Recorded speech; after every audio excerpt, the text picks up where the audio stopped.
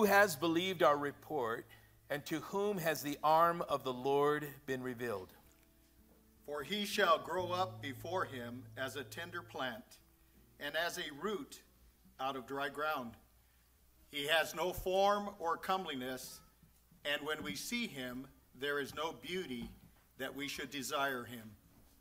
He is despised and rejected by men, a man of sorrows and acquainted with grief, and we hid, as it were, our faces from him. He was despised, and we did not esteem him. Surely he has borne our griefs and carried our sorrows, yet we esteem him stricken, smitten by God, and afflicted.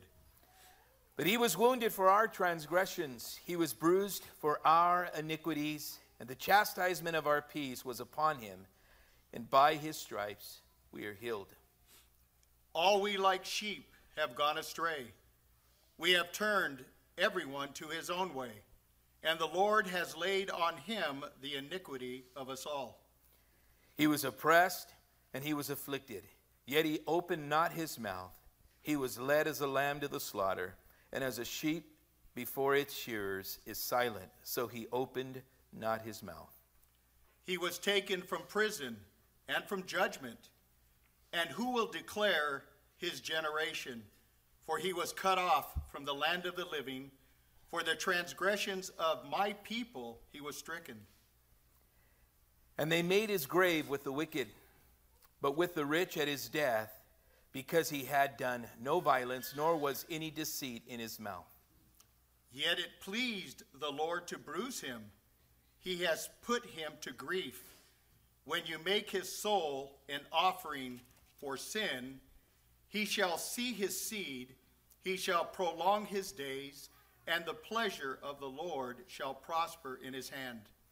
He shall see the labor of his soul, and so be satisfied by his knowledge. My righteous servant shall justify many, for he shall bear their iniquities. Therefore, I will divide him a portion with the great, and he shall divide the spoil with the strong, because he was poured out his soul unto death, and he was numbered with the transgressors, and he bore the sin of many, and made the intercession for the transgressors. As we read Isaiah 53, we see the promise of the Lord God, the God of Israel, that he made to his people. Isaiah 53 speaks clearly of the death and the sacrifice of Jesus our Savior, in whom we today worship and remember. It is in Matthew chapter 26 that we see in verse 26 that Jesus prepared a meal before his time in the Garden of Gethsemane, before his arrest and his betrayal. But Jesus, in this meal, had one focus what the meal represented. It wasn't the final meal of a dead man walking or the final meal requested of a man who was on death row.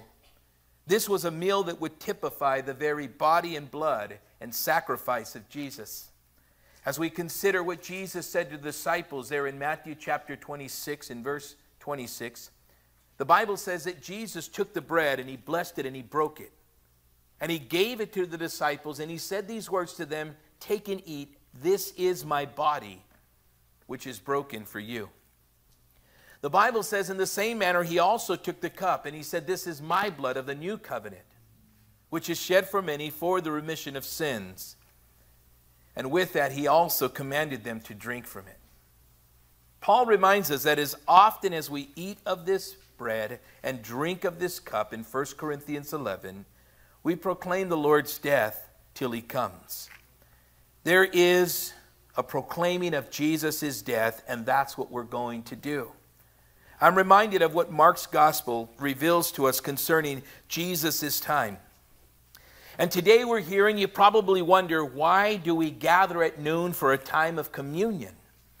When communion was a meal that took place before Jesus' arrest and betrayal. Well, what we're seeing in Mark chapter 15, starting in verse 25 through about verse 35 and 36, we see Jesus' entire time on the cross. Notice what it says here. It says this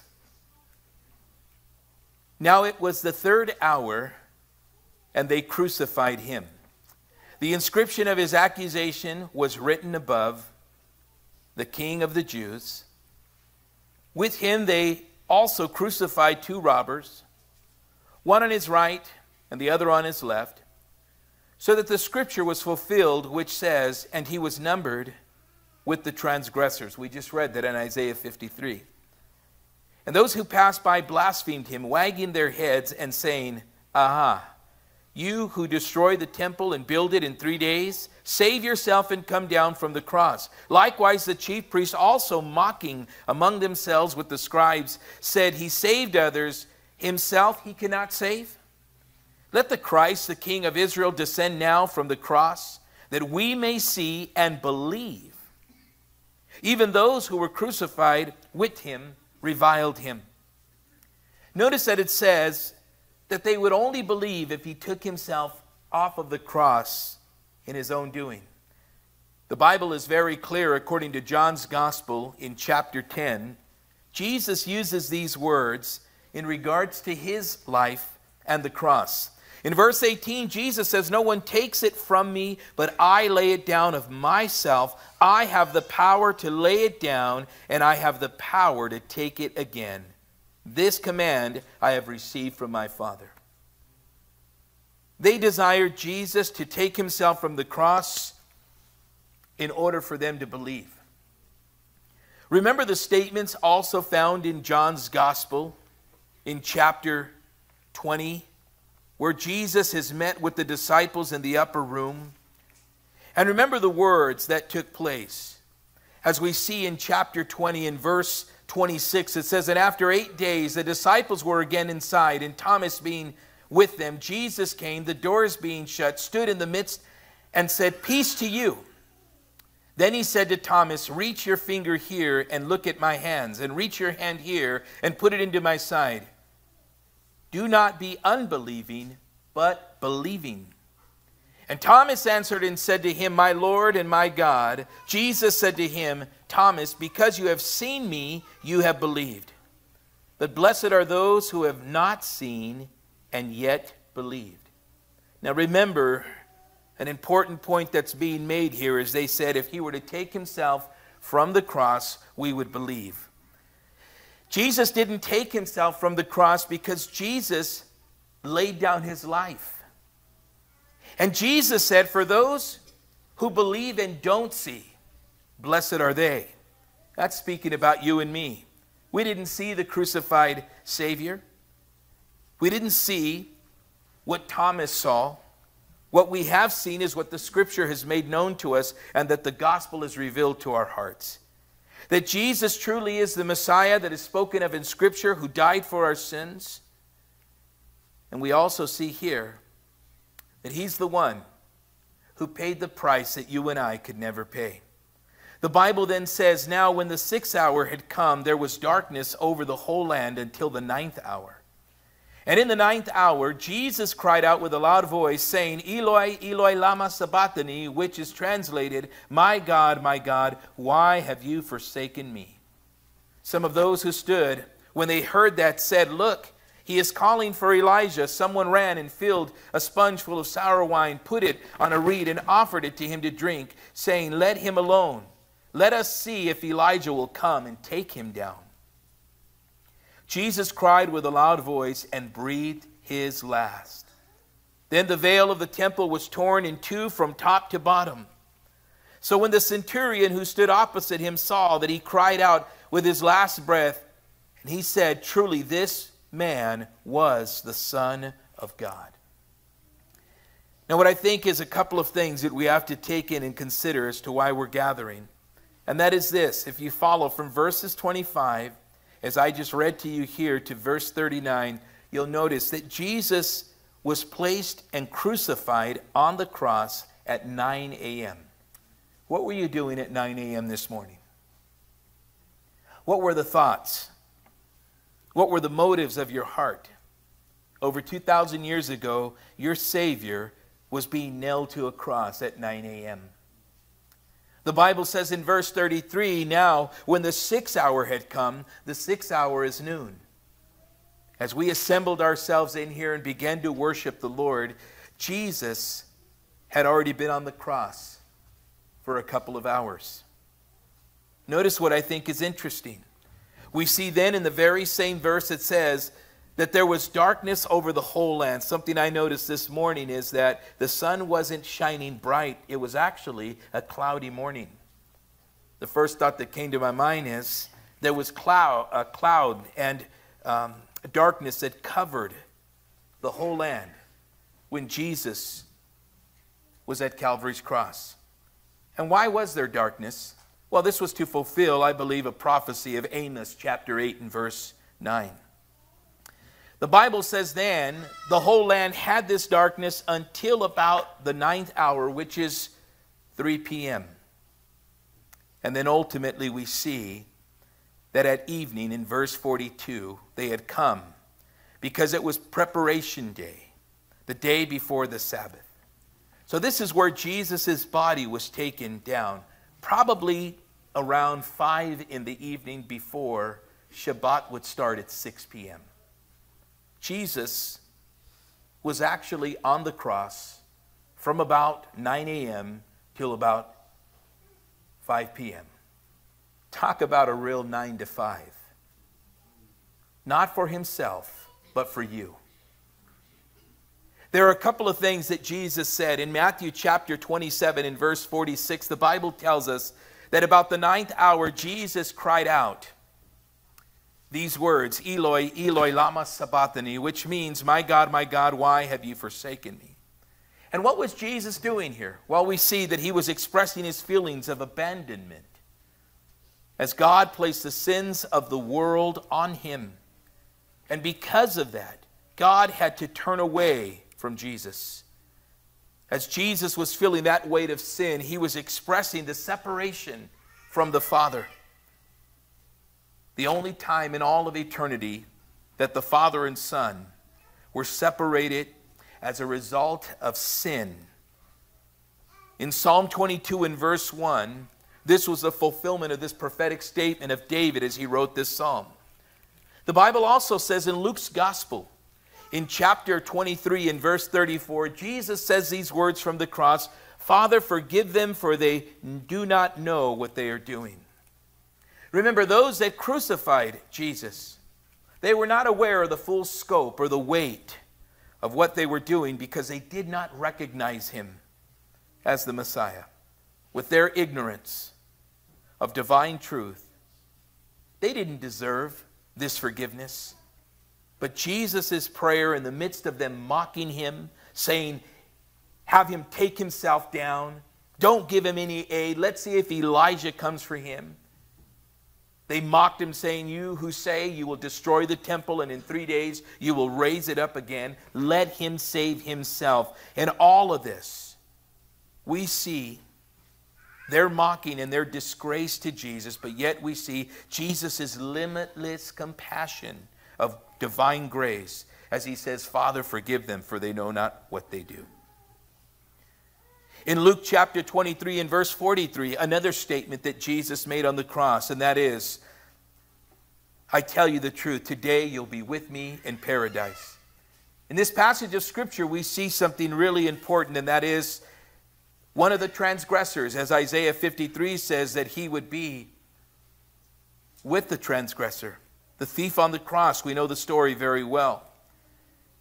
And this criminal recognized Jesus he asked Jesus that if Jesus would remember him when he goes into his kingdom, he acknowledged that Jesus was more than just a man who was being crucified. In his own words, the thief said that Jesus was innocently crucified. And the criminal himself said, We are deserving of this death and being here. Jesus then looked at him and said, Today you'll be with me in paradise.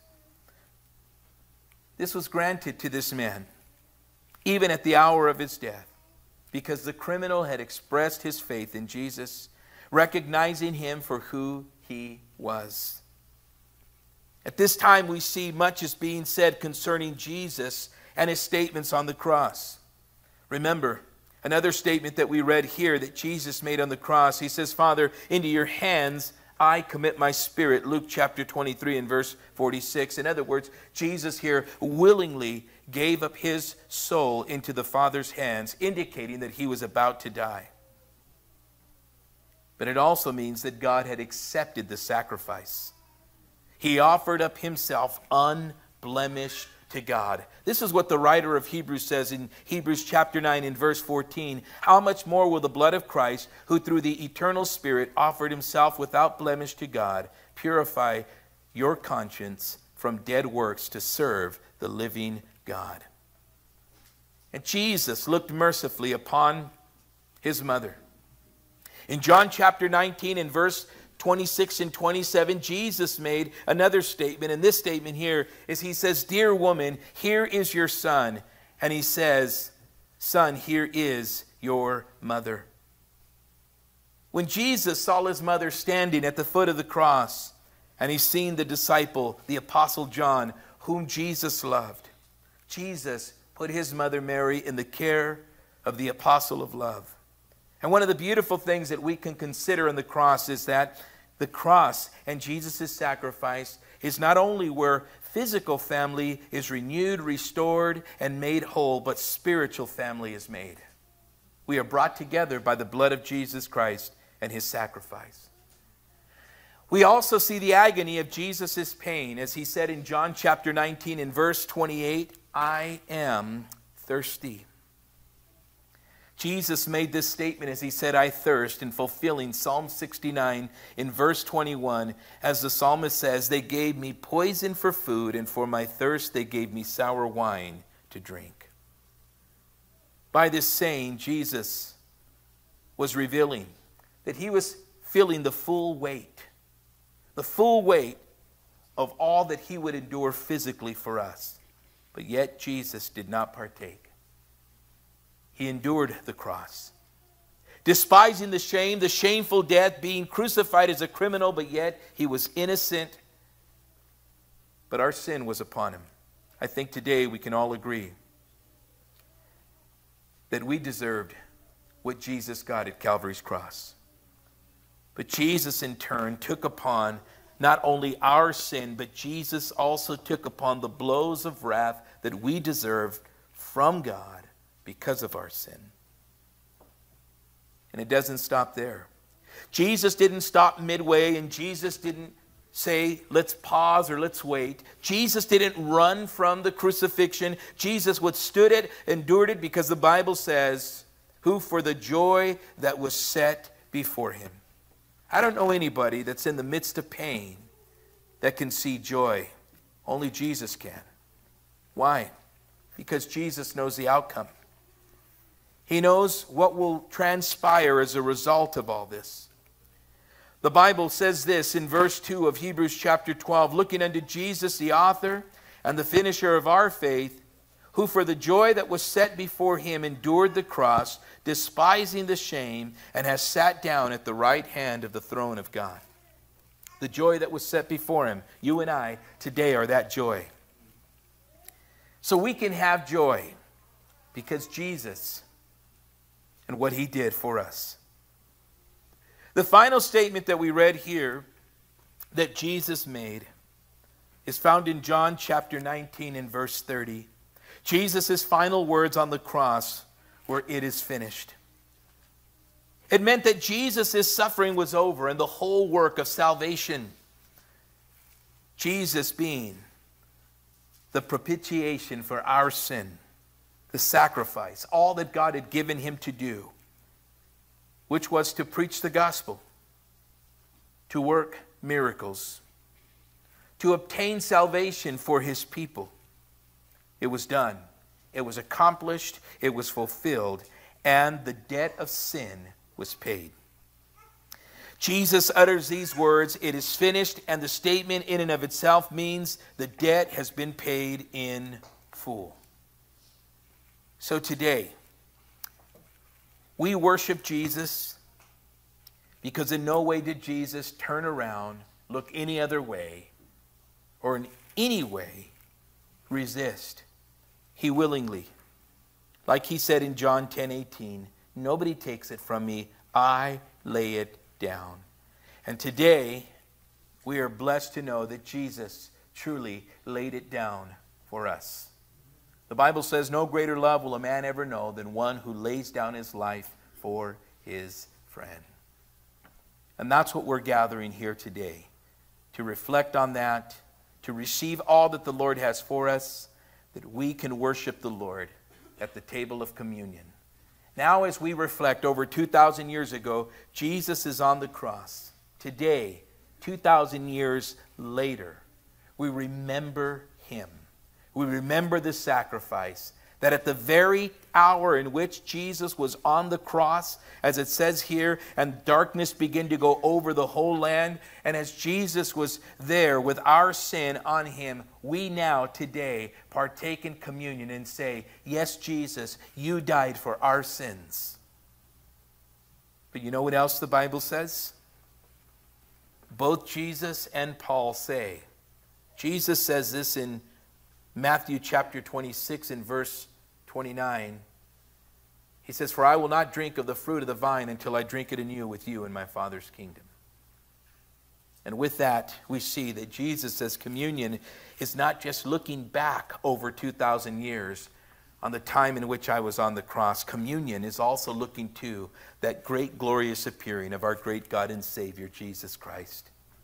And Paul says in 1 Corinthians 11, he says, For as often as you eat this bread and drink this cup, you proclaim the Lord's death, which we're about to do, till he comes. Communion is always looking back to Calvary, but looking ahead to that glorious appearing of our Savior, Jesus Christ. Amen. Let's pray. Father, we thank you, Lord. We thank you for this time. We ask, God, that our hearts would be prepared as we're led in communion, Lord, may we not forget the sacrifice that was made. May we not forget, Lord, the price that was paid. Lord, that your will would be done in our lives. So, Father, we look to you now as we remain in an attitude of worship. In Jesus' name we pray. Amen. But you know, as I was as I was looking at communion and, and Pastor David said I'd be leading it, I really dug into this. If you can envision right now, Jesus is, is at this small table with his disciples. And they're sitting and they're leaning on each other. And if you understand about what was taking place at this Seder meal, there's four cups that are taken in the Seder meal. The first cup is the cup of sanctification. The second cup is a cup of deliverance or judgment third cup. Ah, the third cup. That's the important cup for us because that's the cup of redemption. And when, it, when I was looking at this and, and I, I, I was studying last night and really digging into this, and I was looking here at 1 Corinthians chapter 11, and Paul writes in beginning of verse 23, where the Lord's Supper is institute, uh, instituted here, it says, For I received from the Lord that which I also delivered to you that the Lord Jesus, on the same night in which he was betrayed, took bread. And when he had given thanks, he broke it and said, Take, eat, this is my body, which is broken for you. Do this in remembrance of me. Jesus would have gave a Hebrew prayer, and he would have said something like, Blessed art thou, O Lord our God, King of the universe, who brings forth bread from the earth. Jesus he told the scribes and Pharisees, Destroy this temple, and in three days I will make it rise again. The Bible says God raised him, the Holy Spirit raised him. All three raised him from the dead. And it's amazing because then he takes his cup. If you envision Jesus sitting there and he's doing this, they would have already partaken of two cups. However, the second cup, Jesus wouldn't have partaken of the second cup. The disciples did because it was for deliverance. They were delivered from what? From Egypt. And they were remembering that deliverance, but Jesus didn't partake of the second cup. And it was because, see, later on, he would go to the Garden of Gethsemane. And he would go and he would, the Bible says that the cup of the wrath of God was poured upon him. And we know when Jesus was there, he was, he was praying, if it's possible, let this cup pass from me. But not my will, your will be done. Pastor already said that he did it willingly. He gave his life willingly. And it said while he was there, droplets of blood formed and were dropping to the ground. That is a medical phenomenon when you're under extreme stress. But then it says here, after they broke this the bread, and he said, Do in remembrance of me. Then he said, In the same manner, he also took the cup after supper, saying, This cup is the cup, is the new covenant in my blood. This do as often as you drink it in remembrance of me. That's the third cup in the Seder meal. And how beautiful that we're going to partake in this this afternoon. And I'm envisioning Jesus again with his disciples, and he's telling them about this third cup, and they're taking this third cup. And I'm thinking, how beautiful, what a picture it is for us of what he did on the cross. And then he goes on and he says, For as often as you eat this bread and drink this cup, you proclaim the Lord's death till he comes, his second coming. See, just as Passover celebrates deliverance from slavery for the children of Israel from Egypt, so the Lord's Supper celebrates deliverance of sin by Christ's death. So Jesus said, Do this in remembrance of me. How do we rem- remember? We remember Christ in the Lord's Supper by thinking about what he did and why he did it.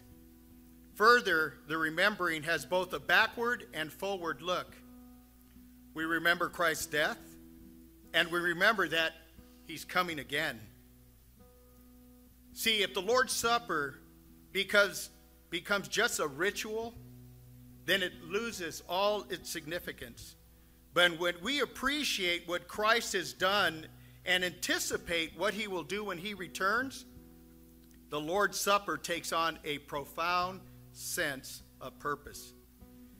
So take time right now as we go to prayer to get spiritually ready for communion. It's going to be open communion, and as Pastor always announces, come out from the sides. Or I think the ushers are going to you're going to pass out the elements? Okay, we got it already. See, I missed it. See, Pastor knew. but when we, uh, again, we need to be spiritually ready for communion, gratefully recalling what Jesus lovingly, lovingly sacrificed himself for you and me. See, let the reality that your sins are forgiven, let it motivate you to love and serve him a lot better because of that finished work of the cross. So, as we partake this afternoon, remember this is the third cup that he would have partaken in that day. Let's pray. Father in heaven, the God of Abraham, the God of Isaac, and the God of Jacob, thank you, Lord, for allowing your body to be broken for us. Lord, I can envision this right now in my mind. How beautiful. What a picture. Willingly, Lord, even though you were in agony, knowing the wrath of the sins of the world that were going to be poured upon your shoulders, you willingly gave your life. Just like John the Baptist said, Behold the Lamb of God who takes away the sins of the world. We thank you, Lord, for this bread that we're about to partake representing your body that was broken for us. Thank you, Lord. We love you, we praise you, we honor you. And it's in the mighty name of Jesus that we pray. Amen. Let's partake.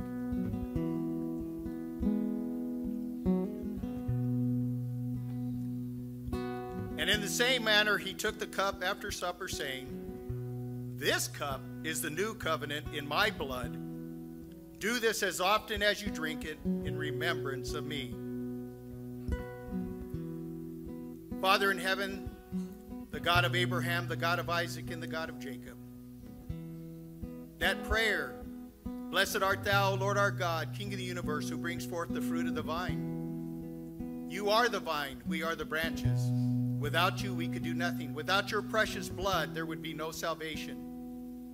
So, Lord, we thank you that you willingly allowed your blood to be shed for us so that we could be made white as snow. So, Lord, we thank you, we love you, we praise you, and we honor you. And it's in the mighty name of Jesus that we pray. Amen. Let's partake. You know, in, in one of the other Gospels, the fourth cup, the cup of joy, they sang, and imagine, Jesus knows where he's going. He's going to the cross. But yet, they sang a hymn in praise to the Lord. So we're going to have the worship team sing a song, just like they would have done after they were done with the Lord's Supper. Amen.